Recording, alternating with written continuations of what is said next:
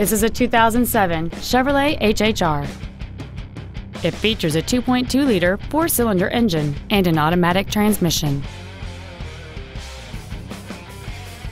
Features include cruise control, full power accessories, a rear window defroster, a CD player, dual airbags, a rear window wiper, and air conditioning.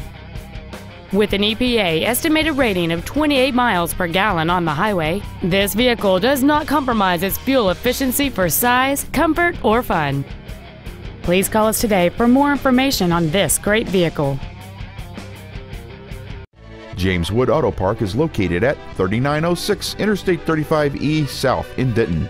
Our goal is to exceed all of your expectations to ensure that you'll return for future visits.